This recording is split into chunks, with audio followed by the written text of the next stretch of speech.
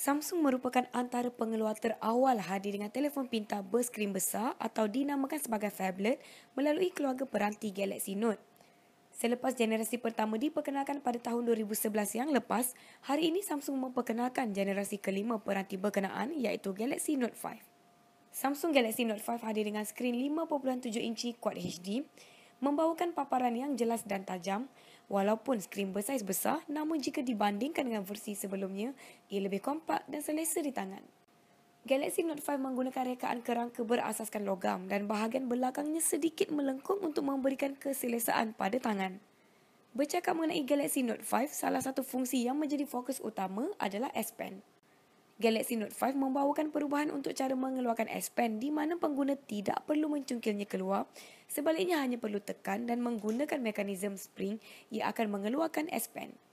Pengguna juga kini boleh menggunakan S Pen terus daripada lock screen tanpa perlu membuka sebarang aplikasi. Sebaik sahaja mengeluarkan S Pen, pengguna boleh terus menulis pada skrin dan nota yang ditulis akan disimpan secara automatik. Fungsi e-command turut ditambah dengan beberapa fungsi baru di mana salah satunya adalah kebolehan menambah tiga aplikasi lain untuk digunakan bagi tujuan akses pantas. Menggunakan S Pen juga, kini pengguna boleh membuat tulisan dan highlight pada dokumen PDF di mana amat berguna jika anda perlu membuat perubahan atau sign pada dokumen. Di samping itu untuk rakaman skrin pula, kini Samsung menyertakan kebolehan merakamkan skrin memanjang ke bawah dan tidak lagi memerlukan anda merakamkan skrin berkali-kali seperti sebelumnya. Pada bahagian kamera, Samsung Galaxy Note 5 menyertakan kamera belakang 16 megapiksel dengan sokongan OIS dan kamera hadapan 5 megapiksel.